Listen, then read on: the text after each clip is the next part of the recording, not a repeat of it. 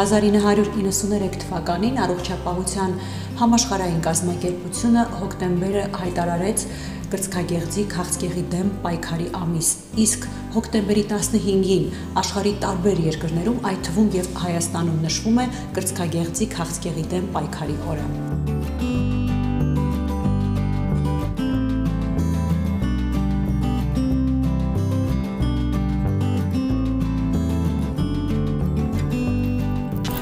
հաղորդման շրջանակներում ավանդույթ է դարձել ամեն տարի անդրադառնալ այս խնդրին, եւ այս տարի եւս մենք նկարահանումներ ենք իրականացնելու հայ-ամերիկյան առողջության կենտրոնում, որը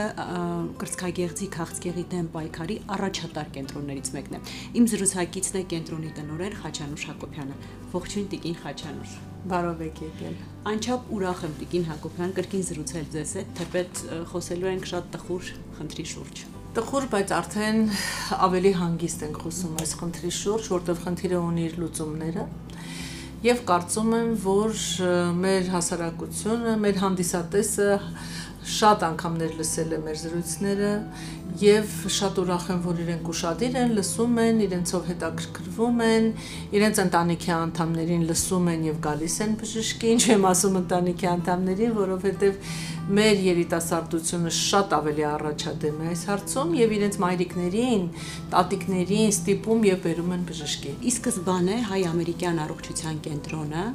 հիմնվել էր որպես կրծքագեղձի քաղցկեղի դեմ պայքարի կենտրոն, բայց տարեց տարի ձեր ծառայությունները ընդլայնվեցին եւ այսպես մի մեծ կլինիկա է այժմ։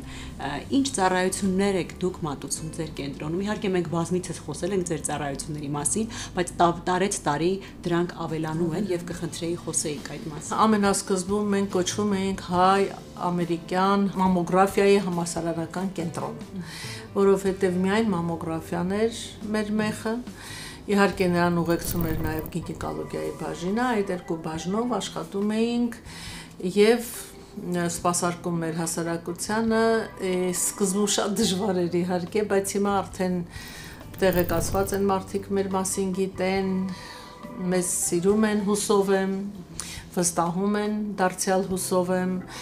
Իհարկե, մնալ միայն այդ երկու ծառայությունների վրա, ես կարծում եմ այնքան էլ ճիշտ չէր, որովհետև մարդը ով մտնում է մի կենտրոն, ուզում է իր բոլոր-բոլոր հարցերը լուծել, նոր այդ կենտրոնից հեռանալ։ Դրա համար մենք ստեղծեցինք բազմաթիվ ծառայություններ, որոնք սպասարկում են կանանց շահերը, նաև տղամարդկանց, մենք ունենք նաև շատ եւ շատ տղամարդ այցելուներ, երեխաներ, ցավոք սրտի Դրա համար ստեղծվեցին տարբեր բաժանմունքներ, լաբորատորիաներ, այնպես որ մարդը ով մտնում է այս կենտրոն, ընդհանուր մինչև գետային մասաժ եւ ասեղնաբուժություն ծառայությունը ստանալով, հայցելելով նևրոպաթոլոգին, ոսկրաբանին, լաբորատորիաներից բջաբանական, հյուսվածաբանական լաբորատորիաներ ունենք, ունենք գինեկոլոգիական արդեն շատ ընդլայնված ծառայություն, ունենք վիրահատարան, շուտով այդ վիրահատարանը դառնալու է մի քանիսը, մենք հիմա սկսում ենք շինարարական աշխատանքներ, պետք է ստեղծենք եւս երկու վիրահատարան իրենց բաժանմունքներով ես սպասարկող այդ մնացած անձնակազմով Նաև շուտով ունենալու ենք գաստրոսկոպիայի եւ կոլոնոսկոպիայի բաժանմունք, այնպես որ մեր ընթարցակումները դեռևս շարունակվում են, հուսով եմ ավելի շատ բաժանմունքներ կունենանք, նոր մասնաշենք կունենանք, այդ բոլորը մեր հերո գնացող պլաններն են տա Աստված, առաջ Աստված, որ դրանք անպայման իրականություն Այո, ունենանք խաղաղություն, ունենանք ապահովություն եւ իհարկե այդ բոլորը մենք իրականացնենք։ Ձեր կենտրոնի բժիշկներն ունեն նեղ մասնագիտացում եւ թիմային մոտեցում յուրաքանչյուր խնդրի վերաբերյալ։ Ինչ է սա տալիս այցելուին։ Բժիշկներից յուրաքանչյուրը իր աշխատանքային օրվա ընթացքում սպասարկում է 20-25 այցելուին ուզեն թե չուզեն իրենք արդեն շատ մասնագիտացել են իրենց աշխատանքի մեջ, որովհետև այդքան մեծ թվով այցելուներ նայելը արդեն ստիպում է մարդուն, որ ինքը շատ սուր աչք ունենա, բայց ինչքան էլ իրենք մասնագիտանան իրենց աշխատանքի մեջ, ինչքան էլ իրենք դառնան շատ պրոֆեսիոնալ այս հարցում, միևնույնն է այդ թիմային աշխատանքը, երբ իրենք 4-5 հոգով են նայում մեկ այցելուի պատասխանը, բերում է համարյա թե բացարձակ ախտորոշման Այսինքն ռադիոլոգներ են հավաքվել են, իրենք բոլորը միասին են քննարկում մանավանդ բարդ հարցերը, երբ որ խնդիրը այնքան դժվար է, այնքան կասկածելի է եւ այլն, այդ 4-5 ռադիոլոգը միասին ուղակի սխալվելու իրավունք չունեն։ Այս պատճառով ես միշտ ասում եմ մեր այցելուներին, եւ նրանք ասում են անպայման նախընտրում են, որ ինձ այս մի բժիշկ գնայի եւ այլն, ես ասում եմ իմացեք, որ իրենք բոլորը միասին են քննարկում ձեր խնդիրը։ Երբ ես եմ իջնում զննության, իսկ ես ամեն տարի պարտաճանաչ եւ շատ խելով գնում եմ իմ զննությունը անցնելու, ես անպայմանորեն երբ իջնում եմ, ասում եմ, մեկն ու մեկը խնդրում եմ ինձ նայեք, որովհետեւ ես գիտեմ, որ այդ մեկն ու մեկը իրենք բոլորն են եւ այդպիսի մոտեցում ունեն ցանկացած այցելուի հանդեպ, որովհետեւ սխալվելու իրավունք մենք չունենք։ Բացի դրանից մենք ունենք մեր բորդի ժողովները, երբ հավաքվում են ամեն մի դեպքի համար, իհարկե հարցը վերաբերվում է քաղցկեղի դեպքերին, մնացած հարցերը, որոնք բուժումների կարիք ունեն, նշանակվում են բուժումները մեր գինեկոլոգների կամ մամոլոգների կողմից, սրանք արդեն հսկողության տակ մնացող կանայք են, բայց այն խնդիրները, որոնք արդեն ունեն շատ կարևորագույն հարցերի լուծումների կարիք, քննարկվում են մեր բորդի ընթացքում, որը իրենից ներկայացնում է բջջաբանների, հյուսվածաբանների, ռադիոլոգների, վիրահատող բժիշկների, քիմիոթերապևտի պարտադիր ներկայություն, որի ընթացքում այդտեղ ներկայ են լինում նաև նյարդաբաններ, ներկայ են լինում բոլոր տեսակի մասնագետներ, ովքեր այս կամ այն կերպ առնչվում են այս հիվանդությանը, իրենք բոլորը միասին քննարկում են ամեն մի դեպք առանձին, երկար վիճաբանությունների արդյունքում գալիս են ընդհանուր հայտարարի, ինչից սկսել կոնկրետ այս հիվանդի բուժումը, արդյոք նա պետք է գնա քիմիոթերապիայի, հետո նոր գա վիրահատության, թե հակառակը, սա արդեն խնդիր է, որը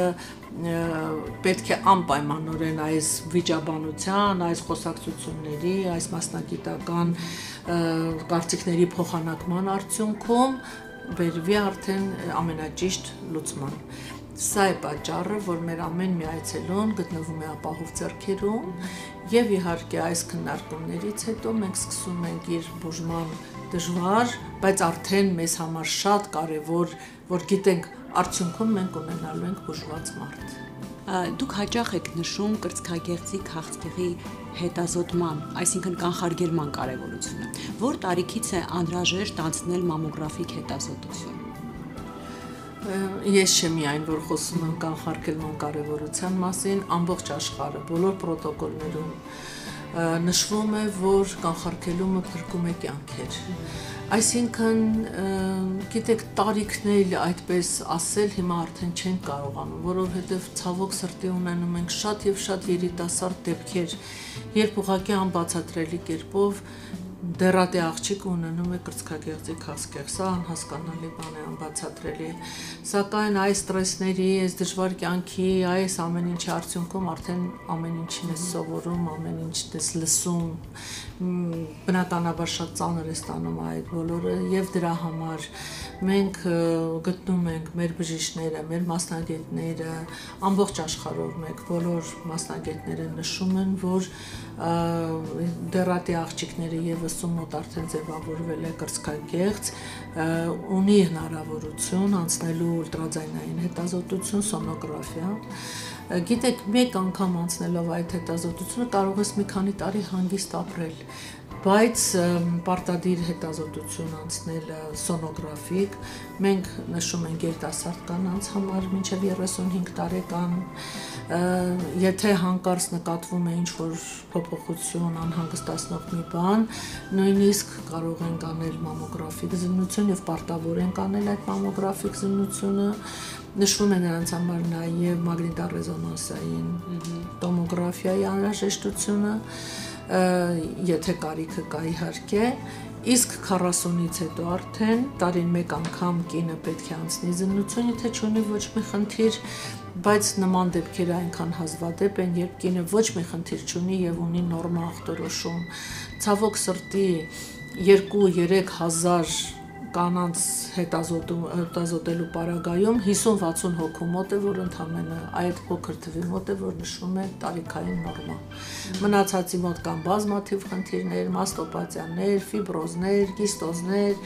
չգիտեմ, դժվար եւ հեշտ ախտորոշումներ տարբեր տեսակի դրա համար մենք պարտավոր ենք ուղակի այցելել բժշկի մանավանդ 50-ից հետո արդեն տարիքի կանանց տարեկան 1 անգամ պարտադիր մամոգրաֆիկ սնություն 40-ից 50 տարեկան կանանց մոտ 2 տարին 1 անգամ եթե բժիշկը նշում է հսկողություն ապա ինքը արդեն նշում է ամիսները քանի ամիսը մեկ պետք է անցնի նաև սոնոգրաֆիկ զննություն իսկ մինչև 40 տարեկան երիտասարդ կանանց եւ աղջիկներին կատարվում է սոնոգրաֆիկ զննություն։ Ես շատ կուզենամ, որ մեր երիտասարդ աղջիկները արդեն սովորեն դա որպես ոսկի կանոն իրենց կյանքի համար, որ պետք է ուղակի գնան բժշկի եւ անցնեն սոնոգրաֆիկ զննություն, թեկուզ 2-3 տարին մեկ անգամ։ Ուղակի փաստելու համար, որ իրենց կրծքագեղձը առողջ է։ Եվ այս ձևով իրենց մոտ արդեն կձևավորվի այդ կուլտուրան, որ իրենք պարտավոր են իրենց կրծքագեղձի հանդեպ լինել ուշադիր, քանի որ կրծքագեղձը հորմոն կախյալ օրգան է եւ շատ վտանգավոր թիրախային օրգան կնոջ համար, որը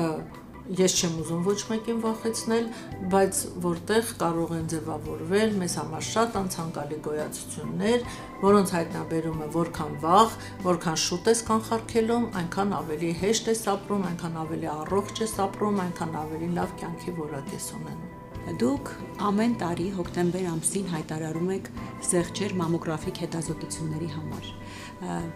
ինչպես է պետք է հերթագրվել եւ երբանից է գործում զեղչերը։ Ամեն տարի միայն հոկտեմբերին չէ սիրելի Նարինե ջան, որ մենք հայտարարում ենք մեր զեղչերը հայտարարում ենք նաեւ մարտ ամսին։ Խրախուսում ու ողջևորում ենք մեր կանանց, որպեսզի իրենք դառնան ավելի ուշադիր, որպեսզի իրենք անպայման անցնեն իրենց զննությունը, Կարծում եմ, որ մեր այցելուները շատ լավ գիտեն մեր այս տրադիցիայի մասին, իրենք սպասում են անհամբեր հոկտեմբեր ամսվան։ Բնականաբար հոկտեմբերի 1-ից մինչև վերջին օրը մենք անում ենք մեր զեղչերը, իսկ երբ պահանջարկը շատ է լինում, մենք երբեմն նաև երկարաձգվում ենք եւ մեր հերթագրված կանանց հետազոտում մինչև նոյեմբերի 10-15-ը մենք աշխատում ենք, որպիսի ոչ ոք չմերժվի, ոչ ոք անմասն չմնա այս ակցիայից եւ իհարկե հերթագրելու մասին շատ ցավալի թեմա, քանի որ ցանկացողների թիվը բավականաչափ մեծ է լինում, մենք երբեմն ունենում ենք հերթեր, սպասողներ, ովքեր դժգոհում են եւ շատ արդարացված ձևով, որովհետեւ այդ սպասելը շատ տանջալի է, քանի որ գալիս է շատ կարեւոր եւ շատ դժվար պատասխանի է սպասում, անհամբեր է լինում, անհանգիստ է լինում այդ դժվարությունների պատճառով մենք ունենում ենք դժգոհություններ, բայց մենք արդեն սովորել ենք, մեր կանայք էլ արդեն սովորել են, որ պետք է սպասեն, որովհետև երբ հերթագրում ես, ստացվում է, որ շատ անկանոն ինչ որ մի բան է դառնում, քանի որ շրջաններից են կանայք գալիս, իրենք չեն հասցնում ժամանակին գալ, այդ հերթը խառնվում է իրար։ Դրա համար մենք ուղակի օրվա մեջ գրում ենք անոնազգանունները, ովքեր պետք է անցնեն այս հետազոտությունը, եւ իրենք գալիս են եւ կենթանի հերթի մեջ սպասում են։ Շնորհակալ եմ Տիկին Հակոբյան այս խնդրին եւս մեկ անգամ անդրադառնալու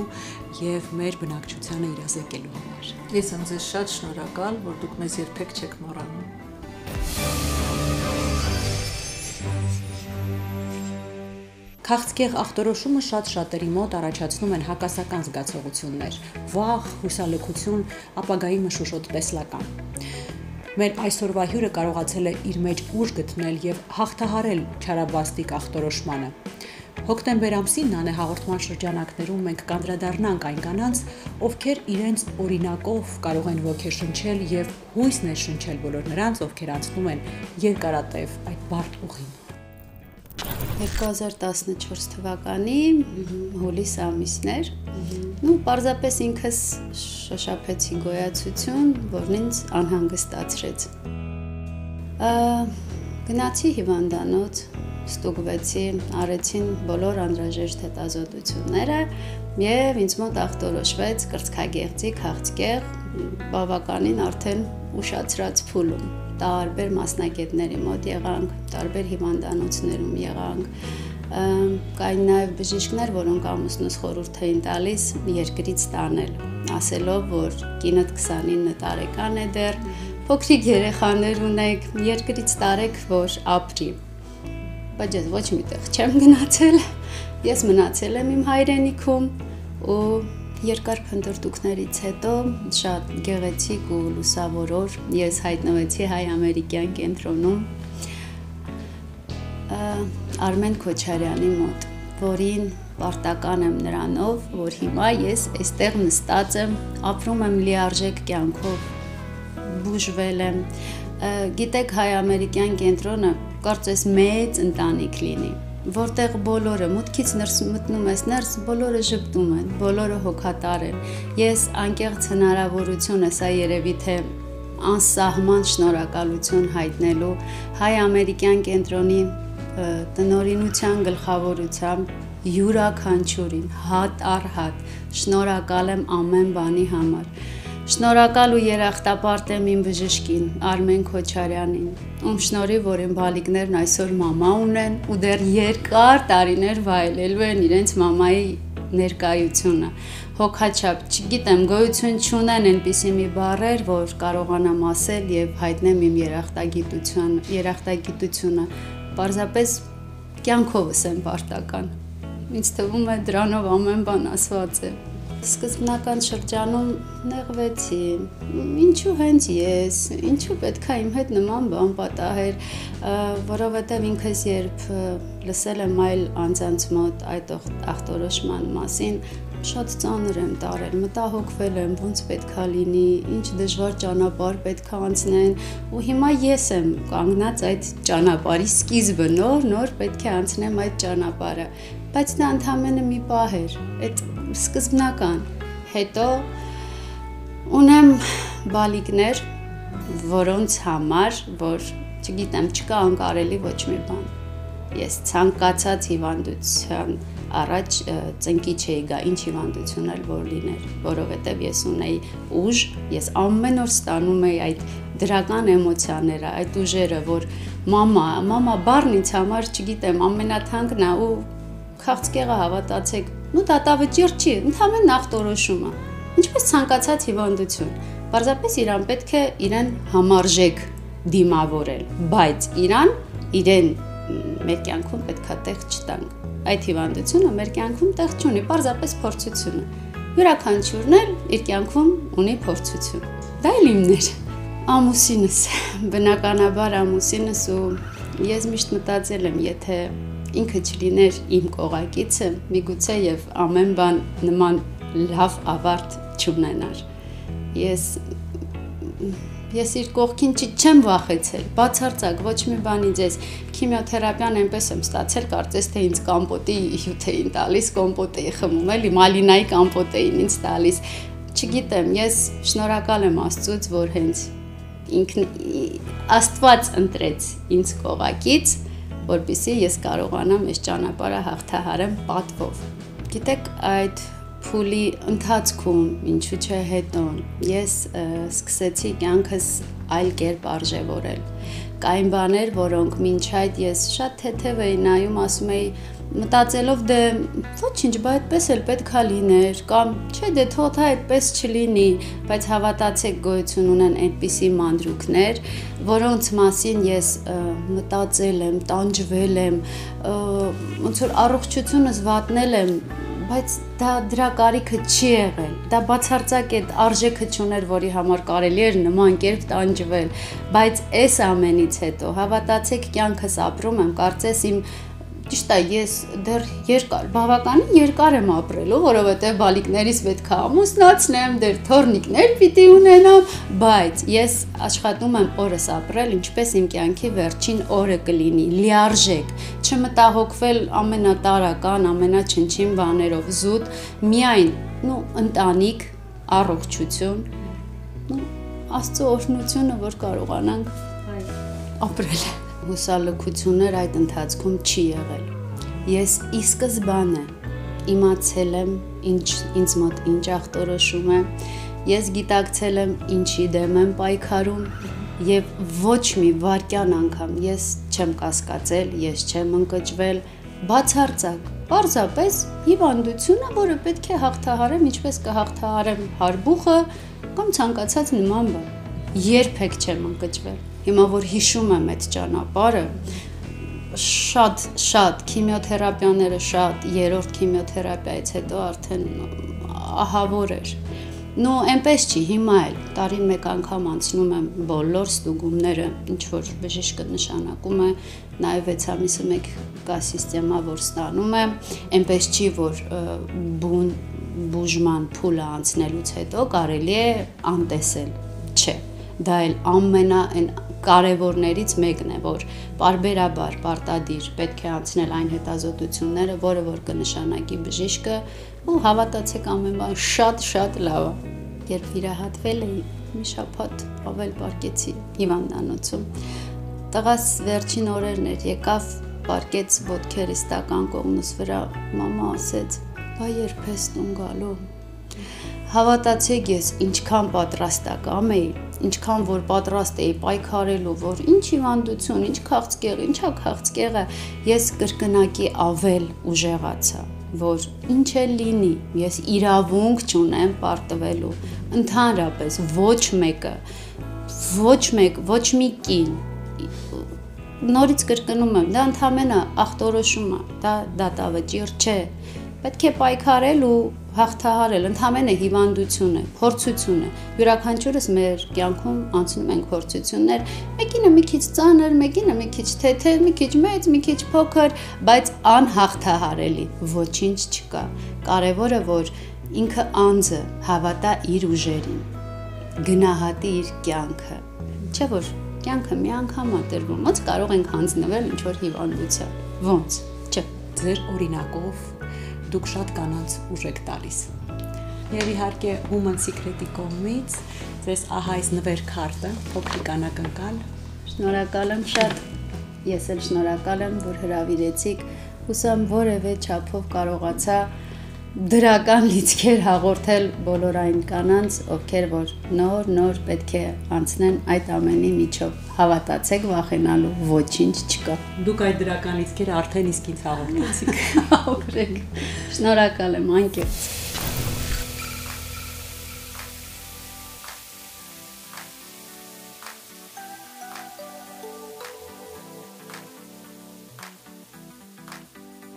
Ներքնասգեստի թեման կանանց համար խիստ առանձնահատուկ է եւ անձնական։ Կանայք ներքնասգեստի ընտրությանը վերաբերում են շատ ջանասիրաբար, ուշադրություն դարձնելով ոչ միայն արտաքին տեսքին, ճոխությանը, այլև հարմարավետությանը։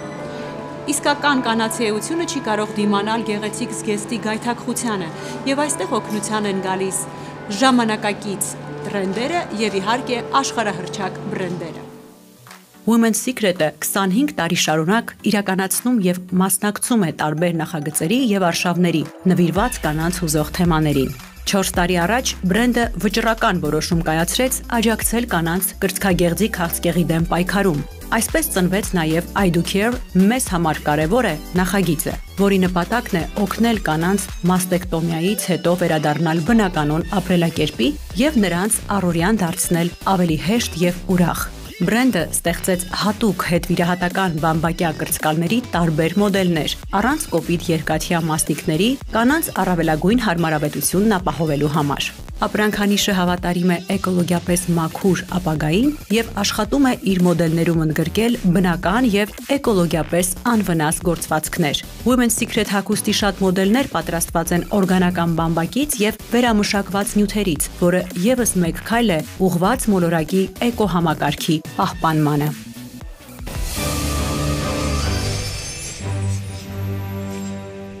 Վերջին շրջանում տեղի ունեցող շարունակական ստրեսներն ու ցնցումները հանգեցնում են նյարդային լարվածության աճին եւ ստրեսակայունության նվազմանը։ Ինչպես պնդում են հոգեբանները, յուրաքանչյուր ոք կարող է արդյունավետ աշխատել իր հոգեկան աշխարհի վրա, եթե հասկանա իր հույզերն ու ապրումները։ Այսօր զրուցելու ենք նյարդային լարվածության, դրա հոգեբանական եւ ֆիզիոլոգիական կապի, ինչպես նաեւ ստրեսների եւ ստրեսակայունության մասին։ Իմ զրուցակիցն է Aeroflex վերականգնողական կենտրոնի ֆիզիոլոգ հոգեբան Նվարդ Եթարյանը։ Ողջույն։ Ողջույն։ Վերջին շրջանում մեր բնակչությունը գտնվում է ստրեսների եւ լարվածության վիճակում եւ դրա համար կան իհարկե օբյեկտիվ պատճառներ։ Ինչի կարող են հանգեցնել շարունակական ստրեսային վիճակները։ Այո, ցավոք սրտի վերջին ժամանակահատվածում մենք բավականին հաճախ ենք հանդիպում ստրեսային իրավիճակների եւ օրգանիզմը մի ստրեսային իրավիճակը դեռևս ամբողջությամբ չհաղթահարած, այսինքն հայտնվում է եւս մեկ ստրեսային իրավիճակում, իսկ օրգանիզմը բնականաբար տվյալ դեպքում ունենում է որոշակի բացասական հետևանքներ օրգանիզմի համար։ Առաջնային ամենակարևոր խնդիրը դա ստրեսակայունության անկումն է, որը եւս իր հետ բերում է մի շարք խնդիրների։ Այստեղ ամենակարևորը նշանակուն երկու կետերն են ոստեսականության մակարդակի նվազման դեպքում ընկնում է նաև մեր իմունիտետը դիմադրողականությունը, իսկ հոգեբանական տեսակետից մենք ունենում ենք տագնապայնության բարձրացում, ինչպես նաև հուզական եւ էմոցիոնալ ֆոնի բարձրացում։ Իսկ այդ ամենը բնականաբար չի կարող իր բացասական հետևանքները չթողնել մեր ֆիզիոլոգիական մակարդակի վրա։ Իսկ ինչպես է դրսևորվում լարվածությունը ֆիզիկական եւ հոգեբանական մակարդակում։ Իրականում մեր օրգանիզմը կարծես թե փակ շղթա լինի։ Այսինքն, եթե մենք ունենում ենք խնդիր հոգեկանում, այն պարտադիր արտահայտվում է նաև մեր ֆիզիկական մակարդակում եւ նույնը նաև հակառակ բարակայում։ Եթե նայենք վերջին ժամանակահատվածում բավականին տարածված խնդիրներ են հոգեբանական տեսակետից, վախերը, տագնապները, կպչուն մտքերը, կարծես թե օթում լինելու զգացողությունները, օթը չհերիքելու զգացողությունը, այսինքն չկենտրոնանալու խնդիրները, մարդիկ շատ հաճախ հենց տվյալ խնդիրներից են սկսում գանգատվել իսկ ֆիզիկական մակարդակում տվյալ խնդիրները սկսում են դասավորվել սթխփոցի, հեվոցի, գլխացավերի, գլխապտույտների տեսքով։ Շատ հաճախ մենք ունենում ենք նաև հոգնածության, թուլության զգացողություններ, ինչպես նաև տվյալ զգացողությունները նաև սկսում են երեկոյան կողմ ավելի սրվել, շարունակվելով անքնության հենց տարբերակներով։ Եթե փորձենք ավելի նեղ օրինակներ բերել, որպեսզի ավելի տեսանելի դառնան, հենց հոգեսոմատիկայում, այսինքն հոգեմարմնական բաժնում շատ տարածված խնդիրներ են, եթե փորձեմ առանձնացնել մի քանիսը, որոնք ամենահաճախն են հենց հանդիպում։ Առաջնային, երբ մենք հայտնվում ենք օրինակ որևէ անհարմար իրավիճակում, այսինքն երբ մենք մեր կոմֆորտ զոնայից դուրս ենք կամ մի փոքր լարվածություն, կան սայսային իրավիճակներ, օրգանիզմի ֆիզիկական մակարդակում տվյալ հոգեբանական խնդիրը սկսում է դասավորվել շատ հաճախ հենց փոփոխության տարբերակով։ Կարծես թե օրգանիզմը փորձում է տվյալ խնդրից ազատվել հենց այդ տարբերակով։ Ունենք նաև դրա դեպի հակառակ տարբերակը։ Այսինքն, երբ մենք ունենում ենք խնդիր, որից որ պետք է բաժանվենք, այսինքն բաժանումներ, հերացումներ, տան փոփոխություն, անձից բաժանում ամենա անգամ ամենափոքր իրերից բաժանման դեպքում, երբ որ մենք կապվածություն ունենք նրանց հետ, օրգանիզմի ֆիզիկական մակարդակում դրանք դասավորվում են փորկապության տարբերակով։ Եվ երրորդ ամենախոշոր խնդիրները, որոնք որ հանդիպում են, դրանք գլխացավերն ու գլխապտույտներն են։ Երբ անձը ունենում է որոշակի խնդիրներ, որոնց լուծումները չի կարողանում գտնել մտավոր մակարդակում, այսինքն տվյալ խնդիրները սկսում են անլուծելի թվալ, օրգանիզմը կարծես ֆիզիկական մակարդակում առաջ է բերում գլխացավի երևույթը, որպեսի հոգեկանի շեղի մտքից, այսինքն որպեսի տվյալ խնդրի վրա այլևս չկենտրոնանա։ Օրգանիզմը այնքան փոխկապակցված է միմյանց հետ, որ փորձում է մեկը մյուսին, այսինքն հոգեբանական եւ ֆիզիկական մակարդակներում հենց օգնել իրենց։ Սակայն մի շատ մեծ խնդիր ունենք, երբ որ տեյպական լարվածությունը շարունակվում է, օրգանիզմի ֆիզիկական մակարդակի խնդիրները սկսում են քրոնիկ դառնալ։ Իսկ դրանց լուծման համար այդ դեպքում պետք է հենց խորքային կարգավորումներ եւ միանշանակ տվյալ կարգավորումները հաղորդումները տրվում են երկու մակարդակներում էլ՝ եւ ֆիզիկական եւ հոգեբանական տեսակետից հաղորդությունը տրվում։ Իսկ ինչպես թույլատնել արդեն քրոնիկ դարձած նյարդային լարվածությունը նյարդային լարվածության հաղթահարման արդեն բազմիցս փորձված ամենաարդյունավետ տարբերակները դրանք հենց շնչառական վարժություններն են, որոնք բավականին շատ են իրենց տեխնիկաները, ինչպես նաև բավականին հարմարավետ են, քանի որ արդեն կախված թե մենք որտեղ ենք, այստեղ որևէ նշանակություն չունի։ Շնչառական վարժությունները կարողանում ենք օգտագործել եւ տանը, եւ դրսում, եւ աշխատանքի վայրում, անգամ զբոսնելիս, եւ դրանք կարծես անձի համար առաջին շտապ օգնություն լինեն։ Մենք այսօր կփորձենք մի տեխնիկա ամեն դեպքում սովորել պահուստային, որպեսի ունենանք դրանք։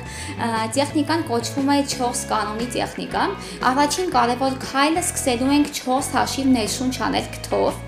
Հիշեք, որ ընթացքում հաշվելու ենք։ Երկրորդ քայլի դեպքում 4 հաշիվ շունչը պահելու ենք երրորդ քայլով 4 հաշիվ արտաշնչելու ենք եւ չորրորդ քայլով տվյալ քայլերը կկրկնվենք 4 անգամ։ Պարզապես հիշեք, որ տվյալ վարժության դեպքում շատ կարևոր կետ է համարվում, որպեսզի հաշվենք մտքում։ Ինչի համար ենք հաշվում։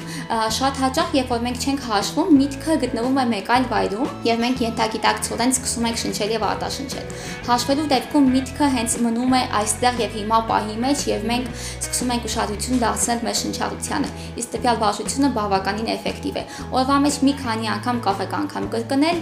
եւ կսկակ տարբերությունը թե որքան օգուտ է տալիս հենց այդ պահին անգամ։ Խոսենք ստրեսակայունության մասին։ Ինչպիսի բնութագիր կտակ դրան եւ ինչպես բարձրացնել հա ստրեսակայունությունը ստեսականությունը ինչպես ամենասկզբում նշեցինք, իրար հետևից տրվող նյարդային լարվածությունների դեպքում ընկնում է։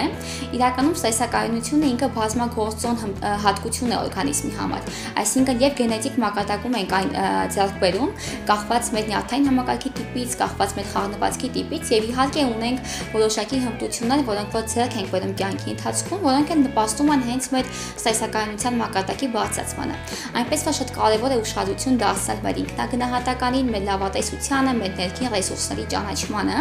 եւ երբ որ այդ ամենը սկսում է զուգակցվել առողջ ապրելակերպով, բնականաբար արդյունքները լինում են առավել տևական եւ ավելի շուտ ենք նկատում հենց դրական փոփոխությունները։ Շնորհակալ եմ Նվարդ հետաքրքիր զրույցի համար։ Շնորհակալություն եւս ձեզ։ Որքան էլ որ ստրեսներն ունեն ռեալ պատճառներ, ցանկալի է որ մենք կարողանանք դրանք վերահսկել եւ կառավարել։ Իսկ հարցերի դեպքում կարող եք սանդահարել նշված հեռախոսահամարներին կամ միանալ Aeroflex-ի Facebook-յան էջին։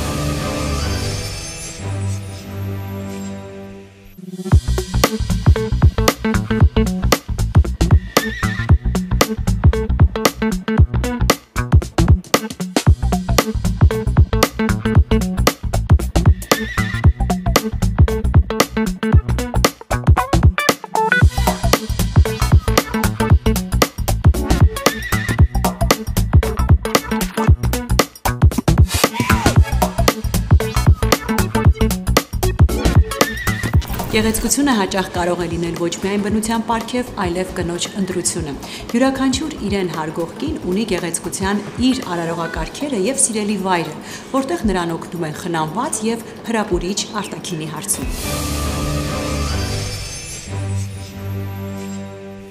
Այսօր խոսելու ենք այդ վայրերից մեկի Gloss Beauty Space գեղեցկության կենտրոնի մասին, որտեղ իրականացվում են գեղեցկության շտկման եւ երիտասարդացման ամենատարբեր ծառայություններ։ Իմ զրուցակիցն է կենտրոնի տնօրեն Ինեսա Մելիքսեցյանը։ Ողջույն Ինեսա։ Բարև ձեզ։ Նախ կխնդրեի ավելի մանրամասն ներկայացնեիք ձեր կենտրոնի ծառայությունները, ինչպես նաև անվանումը։ Ինչով է պայմանավորված հենց Gloss անվանումը եւ ինչ ծառայություններ են մատուցվում շատ լավ։ Նախ շատ ուրախ եմ ողջունել ձեզ մեզ մոտ ու այս կարևոր հետաքրքիր հանդիպում էր, որը կարծում եմ մի փոքր էմոցիոնալ է, բայց Gloss Beauty Space-ը ու հենց իր անվանումը հենց դրա մեջ էլ ներառված է։ Այսինքն Gloss Beauty Space ասելով մենք հենց ի նկատի ենք ունեցել ոչ թե ուղակի փայլող մեկը, այլ ի նկատի ենք ունեցել, որ այստեղ ցանկացած կին աղջիկ մտնելուց ու նույնիսկ ցանկացած տիպի մարդ իրան կզգա իր ամենալավ տարբերակով։ Այսինքն մենք չենք ուզում արհեստականորեն ցույց տալ իրեն, ուզում ենք ցույց տանք իր ամենագեղեցիկ ձևով, հենց իր մասնիկները ավելի շատ ընդգծելով ու իրան ուրախացնելով։ Ամբողջ ոնց որ գաղափարախոսությունը հենց դրա մեջ է կայացել։ Ծառայությունները մեզ մոտ կապված են ինչպես գեղեցկության ոլորտի հետ, այնպես գեղեցկության ու բժշկության հետ միաձուլված, այսինքն այն ամեն ինչ ինչ որ հաճախորդը ուզում է ստանա, ու ուզում եմ մեկ վայրում ստանա մի փոքր էմոցիաների հետ, քանի որ այսօր ժամանակը շատ քիչ է, ու մարդիկ ուզում են մեկ տեղ այցելելով ամեն ինչ հասցնել, մենք հենց դա ենք փորձում հաղորդել մարդկանց, այսինքն որ գան ու այստեղ իրենց կոմֆորտնես գան, հաճելի միջավայր լինի ու ստանան այն մի փոքրիկ մասը, որի կարիքը իսկապես այսօր բոլորը զգում ենք։ Իդեպ հավելեմ, որ բացի ծառայությունները, շատ գեղեցիկ է ձեզ մոտ այստեղ, շատ հետաքրքիր դիզայներական լուծումներով է, այնպես որ կին այցելելով այստեղ կարող է ստանալ ոչ միայն գեղեցիկ արտաքինով դուրս գալ եւ խնամված, այլ նաեւ հաճելի ժամանակ անցկացնել։ Մենք այսօր միջանցքում որ հանդիպեցինք ձեզ հետ, մի հատ կարևոր բան ասացիք, որ մտնում ես հենց առաստաղի բարձրությունից այդ օթը լցված է ու իսկապես երևի ամենակարևոր մասնիկներից մեկը հենց դա է ու ուրախ եմ, որ նկատել եք ու հենց այդ տպավորությունը ձեզ վրա թողել է, այսինքն ուզում ենք, որ հաճախորդները մտնելուց այստեղ այդ շունչը զգան, այդ ամեն ինչը ու ինչ որ առումով ազատությունը, որովհետև շատ տեղերում աշխատանքի վայրում կլինի, չգիտեմ, հանդիպումների ժամանակ մենք բոլորս մեզ զսպում ենք, հա ու այստեղ մի փոքր այդ ազատությունն է, որ նստելով մեզ մոտ ինչ որ հետաքրքիր բան խմելով, հանգստանալով մարդիկ այդ ամեն ինչը կստանան ցանկացած բիզնես նախագիծ ունի իր առաքելությունը եւ գաղափարախոսությունը, որով նա գրավում է այցելուին որն է ձեր կենտրոնի առաքելությունը եւ գաղափարախոսությունը երբ առաջին անգամ հանդիպեցի հիմնադիրների հետ հա ու խոսեցինք իրար հետ ես հարցրեցի Իսկ ի՞նչն է օրինակ հենց ձեր գաղափարախոսությունը, այսինքն ի՞նչն եք ուզեցել այստեղ հա ստեղծել, որ ուրիշ տեղ չկա։ Ու ինձ ասացին, որ մենք ուզեցել ենք մի հատ տեղ ունենանք, որտեղ մարդիկ գալիս են, ստանում են ամեն ինչի լավագույնը։ Այսինքն ստանդարտ օրվա գրաֆիկով մարդիկ միտեղ հարդարում են մազերը, միտեղ գնում են կոսմետոլոգիական ծառայությունների, ուզում ենք այստեղ լինի հաճելի մտնոլորտ, այսինքն որ մարդիկ այստեղ ստանան այն ամեն ինչի, ինչ որ ուզում են ստանան, բայց մեկ տեղում։ Անդրադառնանք մանրամասն ձեր ծառայություններին։ Ինչ ծառայություններից կարող է օգտվել այցելուն այցելելով այստեղ ծառայությունները շատ բազմազան են, սկսած վարսահարդարումից, մազերի խնամքից, մաշկի խնամ, բժշկական ծառայություններ,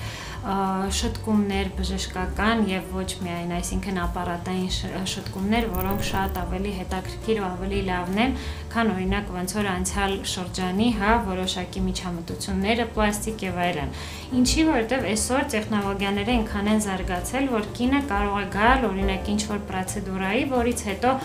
ունենա միանգամից արդյունք ու որը չի լինելու նրա հաշվին, որ ինքը միջամտության է դիմել պլաստիկ Այսինքն օրինակ ունենք տենց ծառայություններ, ոնց որ ուլտրաֆորմերն է նույն, որի մասին դուք ելի կխոսեք կարծում եմ, որից հետո կինը տեսնում է հստակ արդյունքը։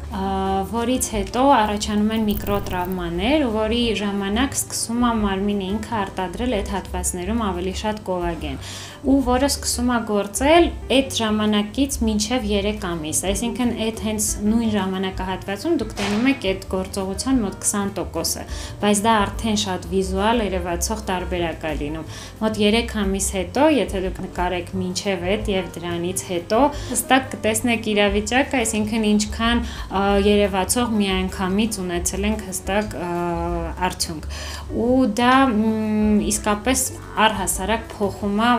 ընդհանուր առմամբ կնոջ մոտեցումը իր նկատմամբ, արդյունքի նկատմամբ ու ինչ ռիսկերի պետքա գնա, հա, որովհետև այսօր եկեք ազնիվ լինենք, ցանկացած պլաստիկ վիրահատություն դա ինչ որ առումով ռիսկ է Իսկ այս պարագայում ռիսկերը մաքսիմալ մինիմալիզացված են ու այս պարագայում դուք ստանում եք հենց այն ինչ որ ուզում եք ու գիտեք որ նաև դա ձեր առողջությանը միայն օգուտ է տալու ու ընդգծելու է ձեր ունեցած լավը ոչ թե ձգելու է, չգիտեմ, արհեստական տեսք հատալու, այլ ուղղակի հիշելու են մի քանի տարի առաջ իրանք ինչպեսին են եղել ու դա կարծում եմ կարևորագույն պրոցեդուրաներից մեկն է, որով որ մենք կարողանում ենք իսկապես երջանիկ կանայք տեսնել, որ այստեղ գալիս են ու ուրախ գնում են։ Ու կանայք եմ նշում, բայց նույն պրոցեդուրան նաև արել են տղամարդիկ արդեն մեզ մոտ, որը Հայաստանի մասշտաբներով մի քիչ անսովոր է, անսովոր է այն պահը, որ օրինակ չեն չեն ընդունում, որ կարելի է որ տղամարդն էլ հետևի իրեն, բայց բոլոր մարդկանց մոտ հա տղամարդիկ 50-ի տարիքային հա խմբի կանայք 40-ին մոտ, նույնիսկ 30-ին, ինչ որ մի հատ կյանքի ժամանակահատված է լինում, որ համ ինքնավստահ ես, համ էլ անինքնավստահ ես ու այդ պահին շատ կարևոր բան է, որ կարողանում ես հենվել այդ մասի վրա, այսինքն եթե ուզում ես դու քեզ տեսնես նենց ոնց որ դու կայր ու պահպանել այդ քո եղածը, դա հնարավորություն է տալիս։ Ու մի հատ կարևոր մեջբերում, եթե դու չես ուզում, ասենք, գնալ գլոբալ փոփոխությունների, վիրահատական միջամտությունների, դու կողմես պահել ավելի շատ քո եղածը, այդ հնարավորությունը նույնպես այդտեղ կարողանում ես ստանալ։ Սա կարծում եմ ամենալավ քո գեղեցկությունը ունեցած ընդգծելու հնարավորություններից է։ Օրինակ կան մարդիկ, դրանցից մեկը հենց ես եմ, որոնք չեն սիրում կտրուկ փոփոխություններ։ Նման ծառայությունները թույլ են տալիս մեզ պահպանել հենց մեր եղած գեղեցկությունը ու որը որ կարծում եմ այսօր այսօր շատ-շատ կարևոր տարբերակ կա, որ միշտ ունենաս ալտերնատիվ որևիցե մոտեցում։ Հենց դա էլ մենք փորձում ենք հաճախորդներին տալ։ Այսինքն մենք ունենք օրինակ մեր մասնագետների մասին, հա, մի քիչ ընդլայնվեմ, տարբեր տեսակի բժիշկներ, էսթետ բժիշկներ, որոնք որ իրենք իրենց բնույթով որպես մարդ են, տարբեր են շատ։ Ինչի է այդ շատ լավ, մենք ամեն մեկի մեջ իր լավ կողմն ենք, հա, փորձում ավելի շատ ընդգծել, որովհետև կան տարբեր տեսակի հաճախորդներ, մարդիկ, որոնց մոտ ցանկությունները ու ճաշակները նույնպես տարբերվում են։ Դրա համար մենք շատ անգամ խոսելով հաճախորդի հետ հասկանում ենք, որ բժշկի մոտ կոնկրետ ճիշտ կլինի իրան ուղղորդել, որովհետև գիտենք, որ ինչ որ մի բժշկի մոտ ուղղորդելուց մենք հասկանում ենք, որ տվյալ անձը այդ բժշկի հետ նույն ալիքի վրա են, այսինքն իրանք շատ լավ իրար կհասկանան։ Հենց այդ պատճառով էլ շատ կարևոր է, որ բոլոր մասնակիցների մեջ լինեն այդ տարբերությունները, որովհետև այսօր ինդիվիդուալ ինչ որ մոտեցումը շատ ավելի կարևոր է։ Մենք կարող ենք տեսնել բոլոր սոցիալական կայքերում իրար նման մարդիկ, որը քիչ-քիչ կարծում եմ տենդենսից դուրս է գալիս։ Ու երբ որ մենք հանկարծ տեսնում ենք ինչ որ բնական դեմքով մեկին, միանշանակ դա մեր աչքը միանգամից զարնում է ու անհնար է անտարբեր անցնել։ Դրա համար մեր համար սենց համար մեկ կարևորությունն է, որ ամեն մարդու մեջ ընդգծենք այն կողմը, ինչ որ ինքը ուզում է ընդգծել կադրից դուրս երբ մենք զրուցում ենք ծառայությունների մասին, ցանոթանում էի, դուք խոսեցիք նաև վարսահարդարման ձեր պրոֆեսիոնալ մասնագետների մասին եւ կցանկանայի որ դուք ավելի մանրամասն ներկայացնեիք, որովհետեւ ձեզ մոտ կան տարբեր ծառայություններ մաշկի խնամքի, գլխամաշկի խնամքի եւ գեղեցիկ բարձերը պահպանելու համար տարբեր միջոցներ կան։ Շատ լավ։ Որտեղից է սկսվում այդ ամեն ինչը, հա, սկսվում է հենց անձնակազմից։ Այսինքն նույն անձնակազմը ընտրելուց, իրենց հետ ծանոթանալուց մենք փորձում ենք մի հատ ուրիշ ինչ որ հարթակ ստեղծենք, որը այդքան շատ չկա Հայաստանում։ Դա բարդ է, դրա համար ցանկացած մասնագետ չի հարմարվի մեզ, մենք էլ իրեն ինչ որ առումով։ Մենք ուզում ենք, որ էմոցիոնալ դաշտը էլի շատ կարևոր լինի, որովհետև գալիս են այստեղ նաև էներգիա ստանալու, հա, ինչ որ մի բան, որ կտրվեն առօրյա այն ամեն խնդիրներից, ինչ որ ունենք։ Դրա համար մասնագետների հետ խոսելուց ու առհասարակ անձնակազմի մենք առաջնային իրենց հենց մտքերն ենք կարևորում, իրենց ցանկությունները, իհարկե նաև գլոսի հետ այդ ամեն ինչը ինչքանով է գնում իրար հետ ու այդտեղ արդեն գնում է մնացած բաները, որը որ հաճախորդներին փոխանցվում է մեր մասնագետների միջոցով։ Այսինքն մենք հստակ համոզված ենք, որ ներսից ու դրսից պետքա նույնը լինի, չպետք է լինի տարբերություն։ Եթե մեր աշխատակիցները այստեղ մեզ զգում ենք շատ լավ, շատ հաճելի միջավայրում, նույնն էլ հաճախորդն է զգում, բայց եթե դա չկա, ուրեմն մյուս մասն էլ չի կարող դա զգալ։ Դրա համար կոնկրետ մազերի խնամքի մասով այսօր առաջվա նման չի։ Առաջ, գիտեմ, շատերը ուզում էին ուղակի մազերի ուղացում, արհեստական ինչ-որ բաներ, այսօր շատ մեծ կարևորություն են տալիս որակին ու հարմարավետությանը։ Այսինքն, օրինակ ունենք ծառայություններ, ինչպեսիք են մազերի խորը խոնավեցումը, մեզ մոտ Տոկիոյին կարամինա կոնկրետ ցուցադրված, որը որ եթե մեկ անգամ հաճախորդը գալիս է, էլ չի կարողանում հրաժարվել այսինքն էլի ինքը իր մազերը դրանք կլինեն ալիքավոր, կլինեն ուղիղ, կլինեն խուճուճ, կլինեն բարակ, կլինեն հաստ։ Ինքը իր մազերը այն վիճակով է ստանում, որտեղ դրանց ձեռք տալուց ինքը միանշանակ հաճույք է ստանում։ Լողանալուց, երբ որ գնալու է ինքը տուն, մտնի դուշի տակ հոգնած, ինքը էլի ձեռք է տալու մազերին ու հասկանալու է, այս ինչ հավեսնեմ ես։ Դոց ցենց մի քիչ բան է հնչում, բայց հենց այդ էլ ավելի շատ ընդգծում է, էլի։ Այդտեղ կոնկրետ այդ ծառայությունը, հա, այն բրենդն է, որը ստացել է Նոբելյան մրցանակ, այսինքն ինքը ուղղված է հենց մազերի խնամքին ու արհեստական չի։ Դա նույնպես շատ կարևոր է։ Բացի այդ, այդ նույն խնամքի սերիայում մենք ունենք օրինակ սպա ծառայությունը իրա, որը գլխամաշկի խնամքը, որը իրանից ներկայացնում է նաև դեղամիջոց մազաթափության համար, ունենք տվյալ տեսականում մեջ նաև հատուկ շարք, որը նախատեսված է հենց տղամարդկանց գլխամաշկի համար, այսինքն էլի դուք կարող եք գալ այստեղ մի փոքր ձեր մասին հոգ տանել ու նաև ռելաքս մի քիչ միջոցառում ունենալ ժամանակ, հա, այսպես ասած, որի ժամանակ թեկուս 10 րոպե կտևի, 15 րոպե հավելյալ կունենաք խնամք հենց ձեր անձնական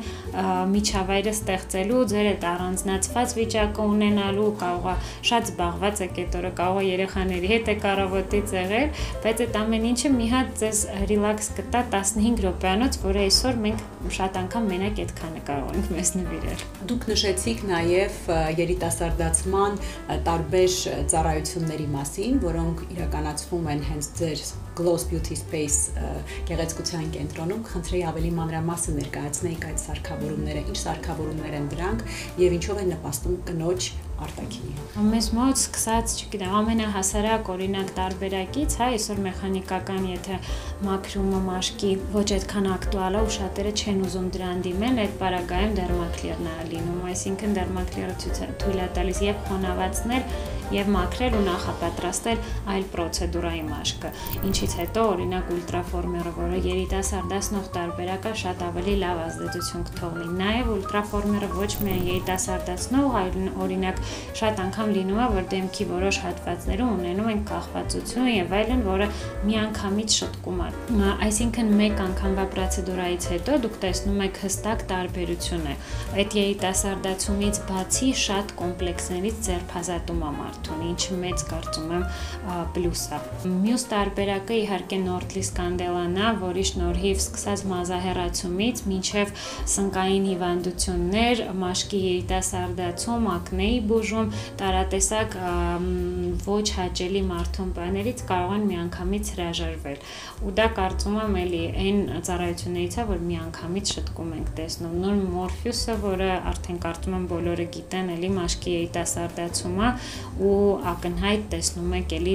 դրա տարբերությունը։ Իհարկե տիտանիում սոպրանոն ունենք, որը նույնպես մազահեռացման ծառայություն է ու ազդում է այն տեսակ մազերի վրա, հա, տարատեսակ սև, բաց գույնի եւ այլն, որը միանգամից մաքսիմալ քիչ ցավով ձեզ թույլ է տալիս այդ ամեն ինչը էլ չունենալ։ Բացի այդ, ինչն է մեզ համար կարևոր, մենք չենք պատրաստվում կանգնել այս ամեն ինչի վրա, անընդհատ ունենալու ենք պերիոդիկ թարմացվող տարբեր ապարատային հնարավորություններ ու կարևորագույն մի մասը մենք չենք ուզում զավթել ամբողջ շուկան։ Մենք ուզում ենք ուղակի հաճախորդը այստեղ մտնելով զգա այդ տարբերությունը ու զգա իրեն իրեն ինչպես տանը բայց ավելի հանգիստ միջավայրում, որտեղ իր վրա պարտականություններ չկան, որտեղ ինքը ազատ ու հանգիստ է իրեն զգում։ Շնորհակալ եմ հաջելի զրույցի համար, ինչպես նաև ձեր կենտրոնի ծառայությունները ներկայացնելու համար։ Մենք իհարկե կանդրադառնանք ձեր կենտրոնի ծառայություններին արդեն մանրամասն։ Ես եմ շնորհակալ, շատ հաճելի զրույց էր ու վստահ եմ, որ ավելի մանրամասն մեր բժիշկների եւ մասնագետների հետ կծանոթանաք ծառայություններին էլ ավելի խորապես, որը մեծ հնարավորություններ ու դռներ կբացի մարդկանց համար այլ ավելի լավ ճանաչելու ու տեսնելու Gloss Beauty Space-ը։